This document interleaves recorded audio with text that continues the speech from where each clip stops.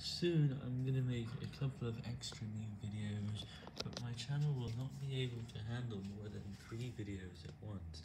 The reason is because of the lower view rate, only 50 views per hour, and now that has become 40 views per hour. And it's because that our 60, became a 30,